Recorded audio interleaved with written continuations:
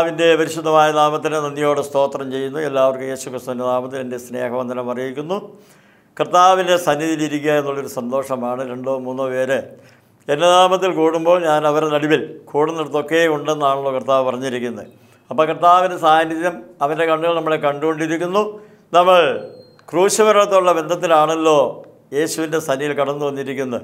ആ ഒരു സ്നേഹം നമ്മോടുണ്ട്. നമ്മുടെ കുറവുകൾ ഓർക്കാതുകൊണ്ട് നമ്മെ സ്നേഹിച്ച നമ്മളെ നടത്തിയ വളർത്തിയ ഇന്നും പുലർത്തുന്ന നല്ലവനായ ആ കർത്താവായ യേശുനാഥന്റെ സനി ഇരിക്കുന്ന എത്ര സന്തോഷമാണ് ആ നല്ല അംശം തിരഞ്ഞെടുക്കുവാൻ വേണ്ടി മറ്റൊരാൾ അപഹരിക്കാത്ത നിലയിൽ അത് മനസ്സിൽ സംകരിക്കുവാൻ വേണ്ടി വളരെ പ്രാർത്ഥനയോടുകൂടി നമുക്ക് ദൈവസന്നിരിക്കാം കർത്താവിന്റെ ദാസനായ പത്രോസത്തിന്റെ ലേഖനം രണ്ടാം ലേഖനം മൂന്നാം അധ്യായം അതിന്റെ പത്ത് മുതൽ വായിക്കുമ്പോൾ ക്രിസ്തീയ സഭയുടെ വിശ്വാസികളുടെ ആ പ്രത്യാശയുടെ ഏറ്റവും ടോപ്പ് അതിനപ്പുറമായിട്ടില്ല. അത് ഏറ്റവും ചുരുങ്ങിയ വാചകങ്ങൾ എനിക്ക് പറഞ്ഞു തന്നിരിക്കുക കർത്താവിന്റെ ദിവസമോ അത് കള്ളനെ പോലെ വരും. അന്ന് ആകാശം കൊടുമുടക്കത്തോടെ ഒഴിഞ്ഞു പോകും. മൂലപദാർത്ഥങ്ങൾ കത്തിയിഴുകയും ഭൂമിയും അതിലുള്ള പണികളും വെന്തുപോവുകയും ചെയ്യും. നാമോ അവന്റെ വാക്തത്വ പ്രകാരം നീതി വസിക്കുന്ന പുതിയ ആകാശത്തിനും പുതിയ ഭൂമിക്കുമായി കാത്തിരിക്കുന്നു. അപ്പം നമ്മുടെ കാത്തിരിപ്പ് അല്ലെങ്കിൽ നമ്മുടെ പ്രതിഫലം നമ്മുടെ പ്രത്യാശ പുതിയ ഭൂമിയിലാണ് മരണമില്ലാത്ത അഥവാ ആ വൃക്ഷങ്ങൾ സസ്യങ്ങൾ മൃഗങ്ങൾ ഈ കോപമില്ലാത്ത എല്ലാം ഒരുമിച്ച് സഹോദരങ്ങളെ പാർക്കുന്ന ആ ശോഭനമായ നല്ല ദിനം. മനോഹരമായ പുതിയ യെരൂശലേം ആയിരത്തി അഞ്ഞൂറ് മേൽ നീളവും ആയിരത്തി അഞ്ഞൂറ് വീതിയും ഉയരവുമുള്ള ആ സ്വച്ഛ സ്ഫടികത്തിനൊത്ത തങ്കം കൊണ്ട് നിർമ്മിച്ച കൊട്ടാരത്തിനകത്തിരുന്ന് ഈ ഭൂമിയിലെ അനുഗ്രഹങ്ങളെ കണ്ട് ആസ്വദിച്ച് ദൈവത്തെ ആരാധിക്കുന്ന നന്ദി പറയുന്ന ശോഭനമായ ഒരു ഭാവി കാലം. അവിടെ പത്രോസ് പറയുന്നത് നാമോ അവന്റെ വാക്തത്വ പ്രകാരം നീതി വസിക്കുന്ന പുതിയ ആകാശത്തിനും ബുദ്ധിഭൂമിക്കുമായി കാത്തിരിക്കുന്നു. ഇവിടെ എല്ലാം ഉണ്ടാക്കി കഴിയുമ്പോഴത്തേക്കും വാർദ്ധക്യമായി വാർദ്ധക്യകാലത്ത് പിന്നെ രോഗം വന്നുകൂടി. ഇപ്പോഴത്തെ കാലത്താണ് ഈ തലമുറകൾ അനുസരിക്കുകയില്ല പിന്നെ എന്നും ഭാരവും നിരാശയും ദുഃഖമൊക്കെ ആയിരിക്കും. അത് വിശ്വാസ ഭവനങ്ങളിലും കടന്നു വന്നിരിക്കുക കാരണം പ്രാർത്ഥന കുറഞ്ഞു പോയല്ലോ. എന്നാൽ പ്രിയമുള്ളവരെ ഇവിടെ വല്ല പ്രത്യാശ? അവന്റെ വാക്തത്വം പുതിയ ആകാശവും പുതിയ ഭൂമി അതാണ് അവൻ വാക്തത്വം ചെയ്തിരിക്കുന്നത്. ഇത് കഴിഞ്ഞു പോകും. മൂലപദാർത്ഥങ്ങൾ കത്തിയഴിയുകയും ഭൂമിയും അതിലുള്ള പണികളും വെന്തുപോവുകയും ചെയ്യുമെന്നാണ് പറഞ്ഞിരിക്കുന്നത്. ഭൂമിയെ കാണുന്നു. ആവർത്തന പുസ്തകത്തിൽ അത് അതിന്റെ മുപ്പത്തിരണ്ടിന്റെ ഇരുപത്തി മൂന്നിൽ മോശ പറയുന്നു. എന്റെ കോപത്തെ തീ ജലിച്ച് പാതാളത്തിന്റെ ആഴത്തോളം കത്തി ഭൂമിയെ അതിന്റെ ഫലത്തെയും ദഹിപ്പിച്ച് പർവതങ്ങളുടെ അടിസ്ഥാനങ്ങളെ കരിച്ചു കളയുമെന്ന്. പർവതങ്ങളുടെ അടിസ്ഥാനം കരിഞ്ഞു പോകും. ഭൂമിയെ അതിന്റെ ഫലത്തെയും ദഹിപ്പിച്ച്. എന്ന് പറഞ്ഞാൽ മോശ പറയുന്നത്? സഹോദരന്മാരെ നിങ്ങൾക്ക് പാലും തേനും ഒഴുകുന്ന ദേശത്ത് ചെല്ലുമ്പോൾ അതിന്റെ സമൃദ്ധി നിങ്ങൾ അനുഭവിക്കുമ്പോൾ ഇത് തന്ന ദൈവത്തെ മറക്കരുത്. ഇത് തൽക്കാലത്തേക്കുള്ളതാണ്. നിത്യമായത് വേറെ ഉണ്ട്.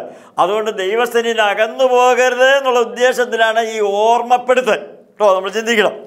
അപ്പോൾ അതങ്ങനെ കരിഞ്ഞു ആ, നൂറ്റിരണ്ടാം സങ്കീർത്തനക്കാരൻ അതിന്റെ ഇരുപത്തഞ്ച് ഇരുപത്താറ് വാക്യം വായിക്കുമ്പോൾ അത് വളരെ ക്ലിയറായി പറഞ്ഞിരുന്നു. പൂർവകാലത്ത് നീ ഭൂമിക്ക് അടിസ്ഥാനമിട്ടു. ആകാശം നിന്റെ കൈകളുടെ പ്രവൃത്തിയാകുന്നു. അവ നശിക്കും നീയോ നിലനിൽക്കും. എന്നിട്ട് പറയാണ് അവയൊക്കെയും വസ്ത്രം പോലെ പഴകിപ്പോ ഉടുപ്പ് പോലെ നീ അവയെ മാറ്റോ മാറിപ്പോവുകയും ചെയ്യും. നീ പറയണത് പൂർവകാലത്ത് നീ ഭൂമിക്ക് അടിസ്ഥാനമിട്ടു. ആകാശം നിന്റെ കൈകളുടെ പ്രവൃത്തിയാകുന്നു. അവ നശിക്കും. നീയോ നിലനിൽക്കും. അവയൊക്കെ വസ്ത്രം പോലെ പഴകിപ്പോകും. അത് ഉടുപ്പ് പോലെ നീ അവ മാറ്റി മാറി പോവുകയും ചെയ്യും. ഈ ആകാശത്തെ പറ്റിയൊക്കെ ഓരോ പണ്ഡിതന്മാർ എഴുതിയിരിക്കുന്ന ശാസ്ത്രജ്ഞന്മാർ കണ്ടുപിടിച്ചിരിക്കുന്ന കാര്യങ്ങളൊക്കെ ഇങ്ങനെ വായിക്കുമ്പോൾ എനിക്ക് ധാരാളം വായിക്കുന്ന ഒരു സ്വഭാവം ഉള്ളതുകൊണ്ട് അപ്പോൾ അത് ബൈബിളിൽ ആ കാര്യങ്ങളോട് ചേർത്താകുമ്പോൾ അത്ഭുതം തോന്നിപ്പോവുക. കാരണം നമുക്ക് മുകളിൽ നിൽക്കുന്ന അന്തരീക്ഷത്തെ ഇന്ന് ശാസ്ത്രലോകം ട്രോപ്പോസ്ഫിയർ മെസോസ്ഫിയർ തെർമോസ്ഫിയർ അങ്ങനെ വിവിധ സ്ഫിയറുകളായിട്ടാണ് തിരിച്ചിരിക്കുന്നത്. അപ്പോൾ അത് അങ്ങനെ ഇല്ലെങ്കിൽ ആകാശത്തെ വിധാനം അതിങ്ങനെ ഇല്ലെങ്കിൽ അപകടകരമായി തീരും.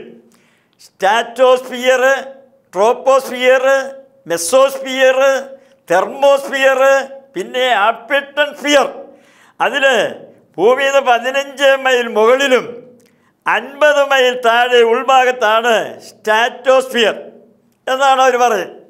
അതിന്റെ ഉള്ളിലാണ് ഓസോൺ കൂടെ ഓസോൺ വാതകം അല്ലെങ്കിൽ ഓസോൺ ലെയർ എന്താണെന്നറിയാവോ? സൂര്യനിൽ നിന്ന് വരുന്ന ആൾട്രാ വയലറ്റ് രശ്മികൾ ആ ശക്തിയോട് ഭൂമിയിൽ അടിച്ചാൽ ഭൂമിക്ക് നിലനിൽപ്പില്ല സത്യങ്ങളെല്ലാം വാടിപ്പോകും. അപ്പോൾ അതിനെ തടഞ്ഞു വേണ്ടി സ്റ്റാറ്റോസ്ഫിയറിന്റെ ഉള്ളിൽ ദൈവം ക്രമീകരിച്ചിരുന്ന ഓസോൺ വാദം. ഇതൊന്നും കണ്ണുകൊണ്ട് കാണാനും പറ്റില്ല കൈകൊണ്ട് തൊടാനും പറ്റുകയില്ല ആ നിലയിലാണ് ദൈവം അത് ആസൂത്രണം ചെയ്തിരിക്കുന്നത്. എന്തിനു വേണ്ടിയാ? ഭൂമിയിൽ മനുഷ്യരെ സുരക്ഷിതരായി ജീവിക്കുവാൻ വേണ്ടിയാ. ദൈവം തമ്മിലെ പരിപാടി നോക്കണമേ. അത് തന്നെയല്ല അതിന്നെല്ലാം ദ്രവിച്ചുകൊണ്ടിരിക്കുന്നു.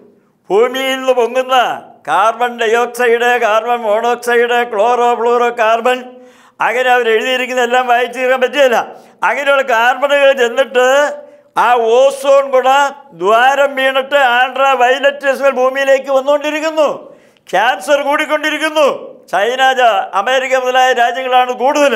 ഇന്ത്യയിലും കുറവല്ല. അത് തന്നെയുമല്ല അന്റാർട്ടിക്ക ആർട്ടിക്ക മുതലായ സ്ഥലങ്ങളിൽ വയലറ്റ് രശ്മികൾ സമുദ്രത്തിലേക്ക് അടിക്കുമ്പോൾ അവിടെ മഞ്ഞുകെട്ട് ഇങ്ങനെ കിടക്കുന്ന ആ മഞ്ഞുകെട്ട് ഉരുകി വെള്ളമായിട്ട് അതങ്ങ് വന്ന കൊച്ചി ബോംബെ മുതലായ പട്ടണങ്ങൾ വരെ അടിയിൽ വെള്ളത്തിനടിയിൽ പോകുമെന്നൊക്കെ അവർ എഴുതിയിട്ടുണ്ട്. ശരിയാണെന്ന് എനിക്കറിയാൻ പാടില്ല കേട്ടോ. അപ്പോൾ ഏതായിരുന്നാലും അങ്ങനെ ദൈവം ക്രമീകരിച്ചിരിക്കുക യുഗാന്ത്യത്തിൽ വരുമ്പോൾ അതെല്ലാത്തിനും ഒരു മാറ്റം വരും. പഴകി പോവും. സംഗീതകാരൻ പറയുന്നത് പൂർവകാലത്തെ നീ ഭൂമിക്ക് അടിസ്ഥാനമിട്ടു. ആകാശത്തിന്റെ കൈകളുടെ പ്രവൃത്തിയാകുന്നു. അവ നശിക്കും. നീയോ നിലനിൽക്കും.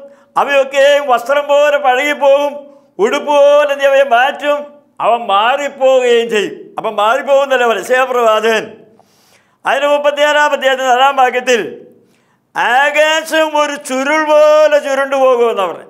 ആകാശം ഒരു ചുരുൾ പോലെ ഇങ്ങനെ ചുരുണ്ടു പോകും. ബി സി എഴുന്നൂറ് എഴുന്നൂറ്റമ്പതിലെ പ്രഭാതത്തിന് എഴുതുമ്പോൾ ഈ ശാസ്ത്രന്മാർ ഇതെല്ലാം കണ്ടുപിടിച്ചിട്ടുണ്ടോ? നമ്മളിങ്ങനെ നോക്കുമ്പോൾ എങ്ങനെ ആകാശം ചുരുണ്ടു പോകും എന്നൊക്കെ പറയുന്ന അത്ഭുതം തോന്നുകയില്ലേ? പ്രിയമുള്ളവർ അത് ദൈവം അത് ക്രമീകരിച്ചവനാണ് ആ പരിശുദ്ധാത്മാവ് എഴുതിയതുകൊണ്ടാണ് ആ കാര്യങ്ങളെല്ലാം കൃത്യമായിട്ട് വന്നിരിക്കുന്നതിന് കാരണം.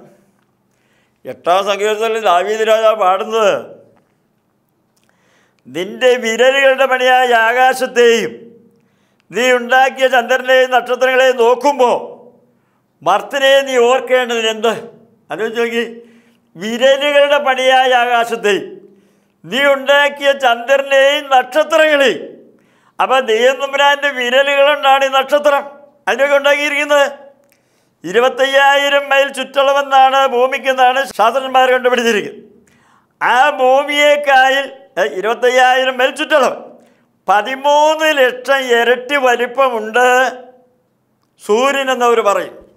അപ്പം ചിന്തിച്ച് നോക്കിക്ക്. ഇരുപത്തയ്യായിരം മൈൽ ചുറ്റളവുള്ള ഭൂമിയേക്കാൾ പതിമൂന്ന് ലക്ഷം ഇരട്ടി വലിപ്പമുള്ള സൂര്യൻ. ആ സൂര്യനേക്കായി ഇരുപത്താറായിരം കോടി മടങ്ങ് വലിപ്പമുള്ള അൻഡാറീസ് മുപ്പതിനായിരം കോടി വലിപ്പമുള്ള എപ്സിലിനു ഇങ്ങനെയുള്ള നക്ഷത്രങ്ങളുണ്ട് എന്നവർ കണ്ടുപിടിച്ചു. പിന്നെ ഒരു നക്ഷത്രത്തിന്റെ വലിപ്പമായി പറയുന്നത്. നമ്മൾ ഭൂമിയിൽ നോക്കുമ്പോൾ കാണുന്ന ഒരു നക്ഷത്രത്തിന്.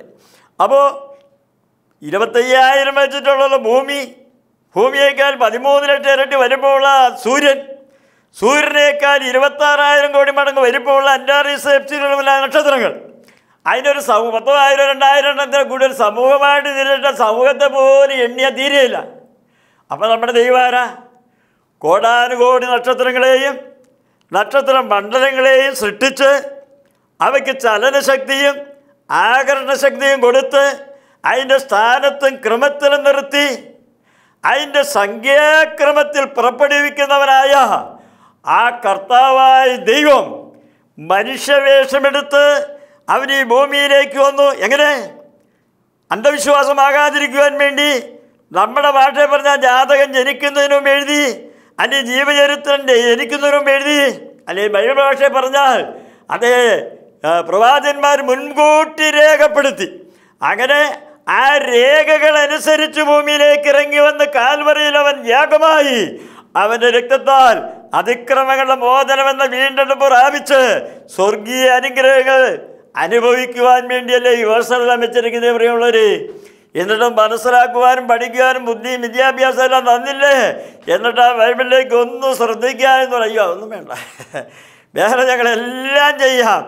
ഒരു നീർക്കോലിപ്പാമ്പിന്റെ കഴുത്തേൽ ഒരു ഈർക്കിളി ചുറ്റി ഒരു സർക്കസുകാരനാണെന്ന് പറഞ്ഞ ഒരുത്തൻ ആ പട്ടണത്തിൽ വന്നത് അവിടെ ഒരു ആയിരം പേര് കൂടും ഈ വേദോസ്തം പ്രസംഗിക്കാനായിട്ട് വന്ന ഒരു മനുഷ്യൻ കൂടുതൽ കാരണം അവനത് വേണ്ട.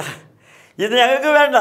ഹിബ്രു അരാമിയ ഗ്രീക്ക് എന്നീ ഭാഷകളിൽ എഴുതി പാപ്പി റഷീദ് അല്ലെങ്കിൽ തോർച്ചുരുൾ തോർച്ചുരുൾ എന്ന് പറയുമ്പോൾ നമ്മളേതാണ്ട് വലിയ ഭംഗിയില്ലാന്ന് വിചാരിക്കരുത് കേട്ടോ. തുകൽ ചുരുളിൽ എഴുതിയിരിക്കുന്ന ആ ബൈബിൾ കണ്ടാൽ അതോടെ മേടിക്കുന്നത് അത്ര മനോഹരമാണ്. തൃപ്പോണത്തിലെ ആ രാജകൊട്ടാരത്തിൽ അതിന്റെ ഒരു കോപ്പി ഇരിപ്പുണ്ട്. കണ്ടാൽ ഇപ്പോഴും എത്ര മനോഹരമാണെന്നറിയാമോ? അതൊക്കെ ശുദ്ധീകരിച്ച് എഴുതി വെച്ചിരിക്കുന്നത് ഇന്നത്തെ കടലാസ് വേദോസർക്കാർ വളരെ ഭംഗിയാണ് നമ്മളിങ്ങനെ ഒറ്റ വാക്കിന് പറയുമ്പോൾ തോൽത്തോളം എന്ന് പറയുമ്പോൾ നമുക്ക് അതിന് നിസ്സാരം തോന്നും. നായങ്കര ചെടിയുടെ തണ്ടടിച്ച് വരുത്തിണ്ടാക്കുന്ന ബാപ്പി റഷീദ് അതിൽ നിന്നാണ് പേപ്പർ എന്നുള്ള പേര് വന്നത്. അവിടെ ഈ തോൽ എട്ടിഞ്ച് വീതി പന്ത്രണ്ട് നീളമുള്ള ചുരുളിൽ ഇബ്രു എലാമിയ ഗ്രീക്ക് ഭാഷകളിൽ എഴുതി ഹൂതന്മാർ മൺഭരണിയിലാക്കി അവിടെ വെച്ചിരുന്നു. എന്നിട്ട് ജനത്തോട് പറഞ്ഞു ഞങ്ങൾ പറഞ്ഞു നിങ്ങൾ അനുസരിച്ചാൽ ഇതൊന്നും വായിക്കണ്ട. സമുദായക്കാരുടെ ഒരു പരിപാടിയാണ് വേദോസ്ഥാനം ഞാനൊന്ന് വായിച്ചൊന്ന് മനസ്സിലാക്കണ്ട. അവർ അപ്പോസ്റ്റോന്മാരെയും പ്രവാചകന്മാരെയും ഇടയന്മാരെയും സുവിശേഷന്മാരെയും നിയമിച്ചിരിക്കുന്നത് എന്തിനാണെന്നറിയാമോ ഇത് വ്യാഖ്യാനിച്ച് മനുഷ്യ ഹൃദയങ്ങൾ കൊടുക്കുവാൻ വേണ്ടിയാണ്.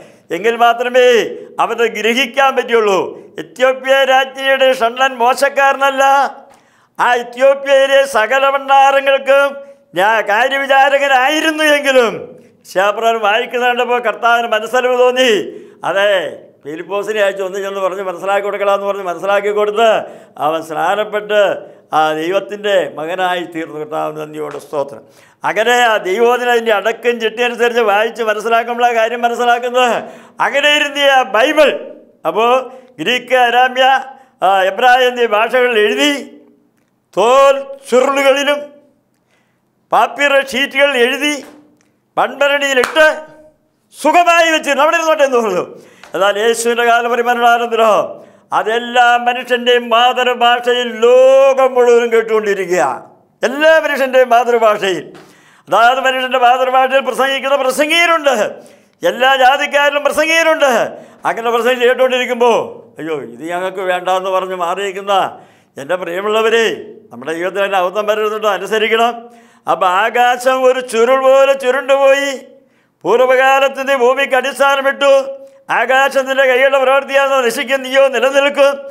അവയൊക്കെ വസ്ത്രം പോലെ പഴകിപ്പോവും ഉടുപ്പോലും മാറ്റവും മാറിപ്പോവുകയും ചെയ്യും. അങ്ങനെ ദൈവത്തിന്റെ കൈ കൊണ്ടുണ്ടാക്കിയ ആ നക്ഷത്രങ്ങൾ ആകാശമണ്ഡലങ്ങൾ അതേപ്പറ്റി നമ്മൾ ചിന്തിച്ചു നോക്കുമ്പോൾ ഒരു മഹാത്ഭുതമല്ലേ പ്രിയമുള്ളവരെ? ആ ദൈവം തമ്പുരാൻ ഒട്ടങ്കീവരീച്ചനിങ്ങനെ പാടി.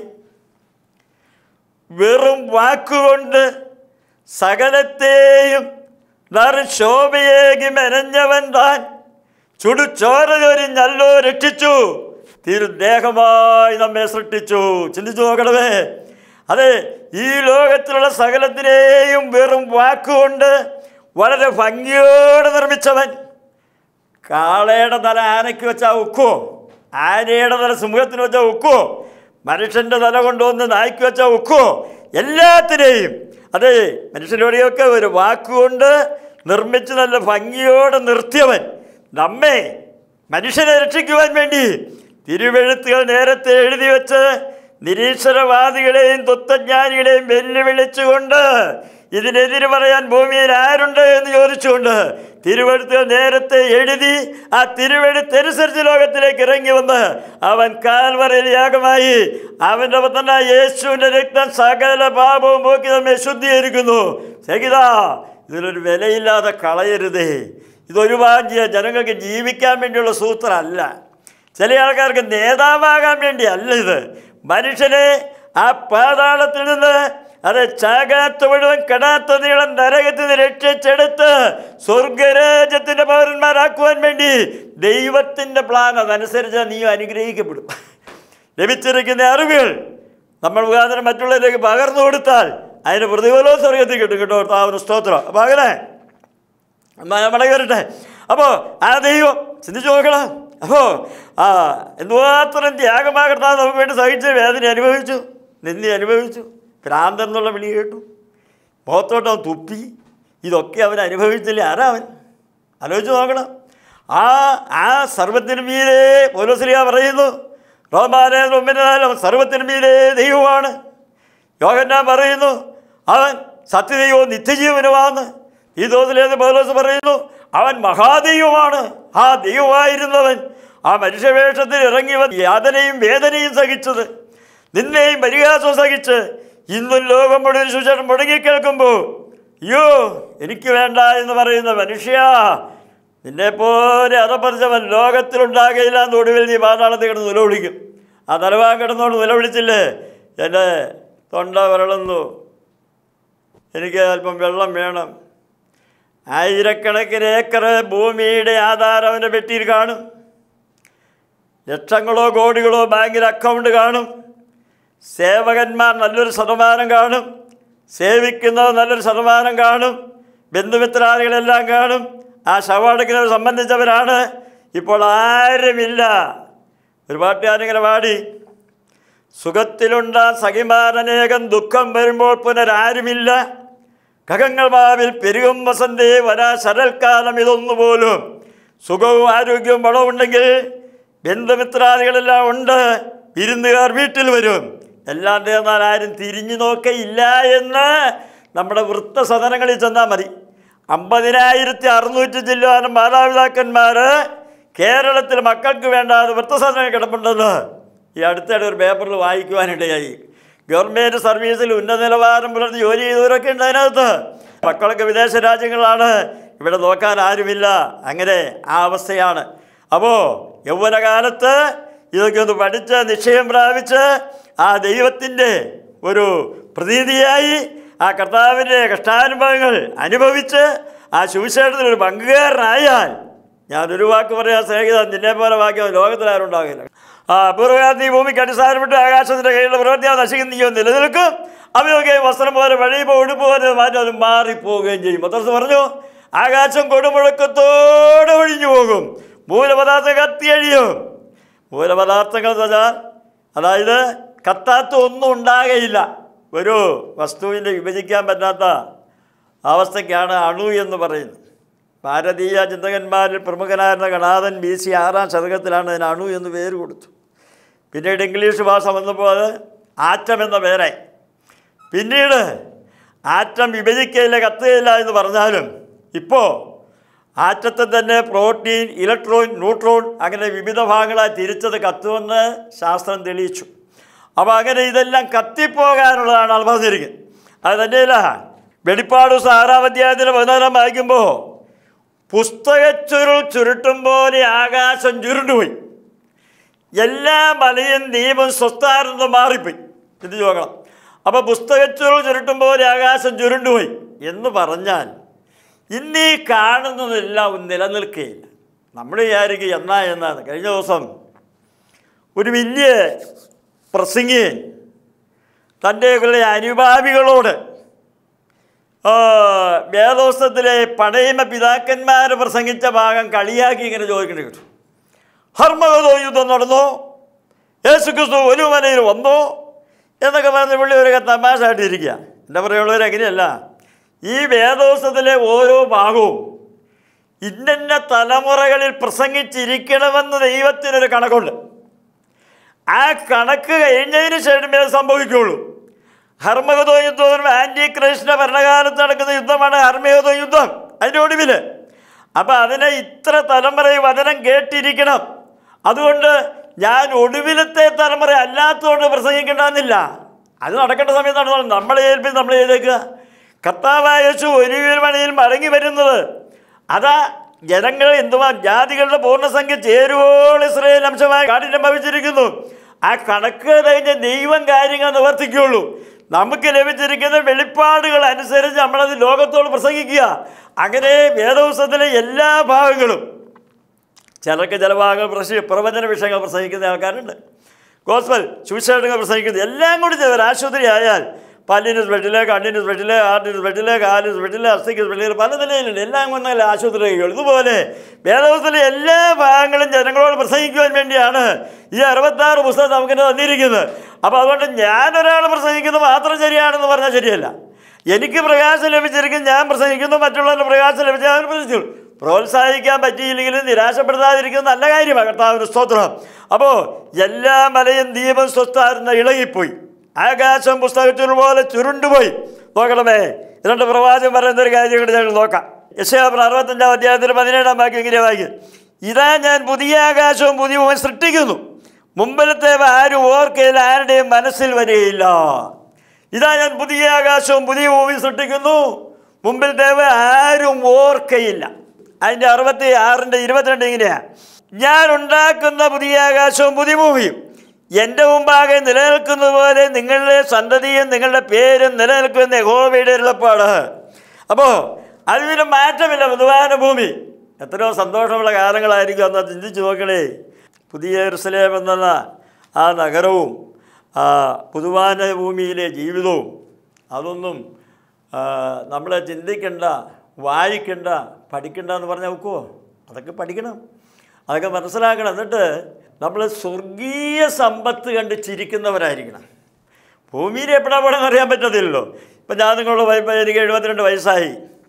എനിക്ക് രോഗമൊന്നുമില്ല ഞാൻ ആരോഗ്യവാനാണ് പക്ഷെ എന്തെങ്കിലും രോഗാണുകളിൽ ഉണ്ടോ എന്ന് എനിക്കറിയാൻ പാടില്ല. നാളെയാണോ മറിഞ്ഞ് വീണെന്ന് അറിയാൻ പറ്റത്തില്ല. ആ നിലയിലാണ് നമ്മൾ ഭൂമിയിലെ ജീവിതം. എന്നാൽ ഇത് ഇല്ലാത്തൊരു ശരീരമാണ് സ്വർഗീയ ശരീരം എന്ന് പറയുന്നത്. ദ്രവിച്ചു പോകാത്ത മരണമില്ലാത്ത നല്ല തേജസ്സിൽ എന്നും ഒരുപോലെ നിൽക്കുന്ന. ഇതിപ്പോൾ വളരും. ഞാൻ എന്റെ മുപ്പതാമത്തെ വയസ്സിലല്ലല്ലോ ഇപ്പോഴേ. അല്ലെങ്കിൽ ഇരുപതാമത്തെ വയസ്സിലല്ലല്ലോ. ഇനിയിപ്പോൾ ഒരു കഴിയുമ്പോൾ കുറെ കൊണ്ട് ക്ഷീണനായി പോകുകയില്ലേ അപ്പം അങ്ങനെ മാറിക്കൊണ്ടിരിക്കും. എന്നാൽ പുതുവാന ഭൂമിയിൽ അഥവാ നമ്മൾ രൂപാന്തരപ്പെട്ട് കഴിയുമ്പോൾ എന്നും ഒരുപോലെ നിൽക്കുന്ന ശരീരം. നമ്മുടെ ദൈവം തമ്പരാൻ അങ്ങനെയല്ലേ? തളർച്ചയും വളർച്ചയും എന്നും ഒരുപോലെ നിൽക്കണേ. ആ തന്റെ സാദൃശ്യത്തിലും സ്വരൂപത്തിലും അവൻ ആദാമിനെ സൃഷ്ടിച്ചു എന്നാണ് പറഞ്ഞിരിക്കുന്നത്. ദൈവം എങ്ങനെ ഇരിക്കുന്നു അങ്ങനെ അവനെ ആദാമിനെ സൃഷ്ടിച്ചു. കേട്ടോ ആദാമിന്റെ മൺമയമാണെന്ന് മാത്രം ദൈവത്തിന്റെ സ്വർഗീയമാണെന്ന് മാത്രം. എന്നാൽ ഇനി നമ്മെ രൂപാന്തരപ്പെടുമ്പോൾ ആദാമിന്റെ രൂപവും ശരീരം സ്വർഗീയവുമായിരിക്കും. നിരമിക്കാത്തതും മുഴുക്കാത്തതുമായ ശരീരം. അങ്ങനെയുള്ള ഭാഗ്യകാലം ഓർക്കുമ്പോൾ പ്രിയമുള്ളവരെ എത്രയോ സന്തോഷമാണെന്നറിയാമോ ഞാൻ ഈ പരസ്യമൊക്കെ പോകുമ്പോൾ അതുപോലെ തന്നെ പ്രസംഗം വരുമ്പോൾ ആ കൂടെ ചിലപ്പോൾ എനിക്ക് പാട്ടറിയാൻ പാടില്ല പാടാൻ ടൂണുമില്ല. എന്നാൽ എനിക്ക് പാട്ട് ഭയങ്കര ഇഷ്ടമാണ്. അതുകൊണ്ട് ഞാൻ ഇങ്ങനെ പാടി പ്രസംഗിക്കാറുണ്ട്. സിയോ നഗരത്തിൽ മിന്നുന്ന കൊട്ടാരം കാണുമേ ഞാൻ. തങ്കത്തെരുവിന്റെ സ്വർണമതിലുകൾക്കുള്ളിൽ കാണുമേ ഞാനോ? ശോഭനമായ എൻ സ്വന്തം നാട്. സിയോൻ നഗരത്തിൽ മിന്നുന്ന കൊട്ടാരം കാണുമേ ഞാൻ.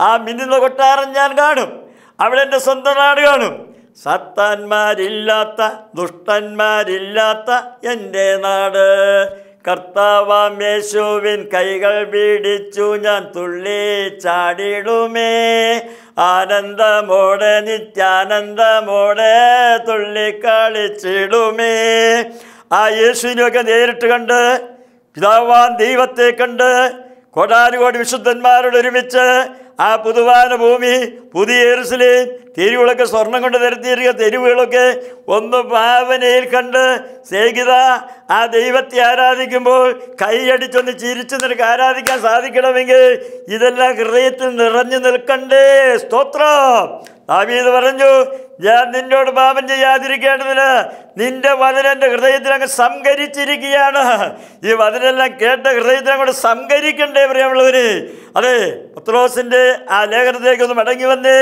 നാമോ നീതി വസിക്കുന്ന പുതിയ ആകാശത്തിനും പുതിയ ഭൂമിക്കും വേണ്ടി നമ്മൾ കാത്തിരിക്കുന്നു. ഞാനൊരു ഉദാഹരണത്തോട് പറയാം. ഒരു പേർഷ്യൻ രാജകുമാരനെ പഴയകാല ചരിത്രമായി വിദ്യാഭ്യാസത്തിനും വരെ പഠനത്തിനും വേണ്ടി ആശാങ്കടനെ കൊണ്ടുവന്നാക്കി. അവിടുത്തെ ഗുരു നല്ല പരീക്ഷനായിരുന്നു ഈ കുമാരൻ മറ്റേ കുട്ടികളോട് ഒരുമിച്ച് നന്നായി പഠിച്ച് മാതൃകാപരമായി ജീവിച്ചവരായിരുന്നു. ഒരു തെറ്റ് ഇവന് കാണാനില്ല. ഇവരെ പഠനകാലം മധ്യകാലമായപ്പോൾ ആ ഗുരു ഒരു ദിവസം ഇവനെ പിടിച്ചിട്ട് ഒരു രണ്ട് അങ്ങ് വെച്ചു കൊടുത്തു. ഈ അടി കൊണ്ട് ഇവന് നല്ല വേദനയായി. ഇവരൊന്നും മിണ്ടിയില്ല ഗുരുവും മിണ്ടിയില്ല. എന്നാൽ ഇവനിലൊരു അമാതൃകയല്ല? ഇവനെങ്ങനെ ചിന്തിച്ചു? ഞാൻ പഠനത്തിൽ മോശക്കാരനല്ല സ്വഭാവത്തിൽ ഞാൻ കുഴപ്പക്കാരനല്ല ഗുരുവിനെ ഞാൻ അനുസരിക്കുന്നു പിന്നെ എന്തുകൊണ്ട് ഗുരു എന്നെ അടിച്ചു? അവന്റെ മനസ്സിൽ കിടന്നു. അത് അവന്റെ പഠനകാലങ്ങളെല്ലാം കഴിഞ്ഞ് രാജാവ് വളരെ സ്നേഹവിരുന്നൊക്കെ ഒരുക്കി എല്ലാവരും വിളിച്ച് അവരെ ആ വിദ്യാലയത്തിലെ ഭവനത്തിലേക്ക് കൊണ്ടുവരുന്ന ആ മുഹൂർത്തമായപ്പോൾ അവൻ ആ ഗുരുവിനോട് ചോദിച്ചു ഗുരു എന്നെ എന്തിനാ ഗുരു അന്ന് തല്ലിയേ? ഞാൻ എന്തെങ്കിലും തെറ്റ് ചെയ്തിട്ടാണോ ഗുരു തല്ലിയേ? അപ്പോൾ ഗുരു അവനോടൊരു മനെ നീ ഒരു തെറ്റും ചെയ്തിട്ടില്ല നിന്നെ തല്ലിയത്. നിന്നെ തല്ലിയത് നീ ഭാവി രാജാവാകാൻ പോവുക. ആ രാജാവാകാൻ പോകുമ്പോൾ ഒരു നിരപരാധി ശിക്ഷിക്കപ്പെട്ടാൽ അവന്റെ വേദന എന്താണെന്ന് നീ മനസ്സിലാക്കാൻ വേണ്ടിയാണ് നിന്നെ തല്ലിയത്. അയ്യോ അന്ന് വരെ ഉണ്ടായിരുന്നതിനേക്കാൾ ഒന്നുകൂടി അവന് ബഹുമാനം വന്നു ഗുരുവിനോട്. കാരണം അതുവരെയും ഗുരു അവനെ പഠിപ്പിച്ചതിൽ വെച്ച് ഏറ്റവും നല്ല ആശയ രണ്ടടിക്കകത്താണ് കിടന്നത്.